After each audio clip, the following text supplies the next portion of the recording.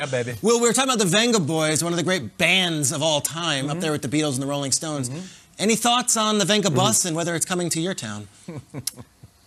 Uh, I'll, I'll be honest with you. I'm still distracted by the fact that you guys brought up Mr. Six, more flags, more fun. That is very traumatizing for me because Mr. it's hard to get out of my head.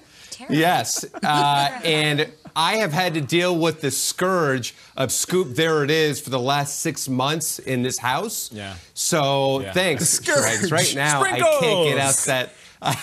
yes, I get it. No, no, no, no. It's in my head. So thank you for that. That's all I can think about right now, Schrags.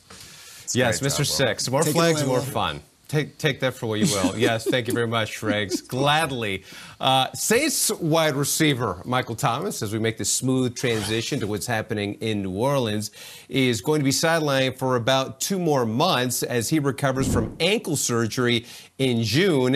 And it's this surgery that reportedly is causing it's causing some tension between Thomas and the organization. Now, the Times Picayune is reporting Thomas ignored calls from coaches and trainers for three months this offseason and he put off the surgery. Thomas responded to that on social media Monday by saying, quote, they tried to damage your reputation. You saved theirs by not telling your side of the story.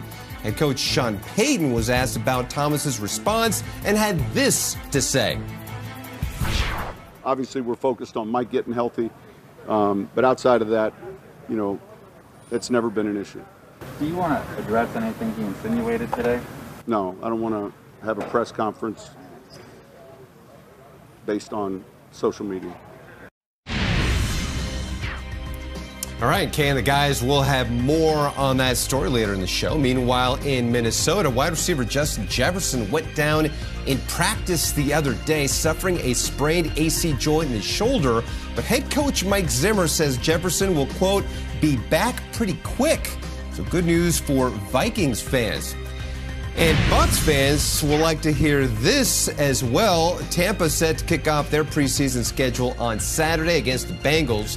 And head coach Bruce Arians saying everyone is slated to play, including Tom Brady, who Arians says we can expect to see for a drive or two. Now, apparently, they need the work. As BA said, yesterday's practice was the worst offensive practice he has seen in three years. So, Kay, whether it is a motivational tactic or it's really the real deal, either way, we'll at least be able to see them in action on Saturday.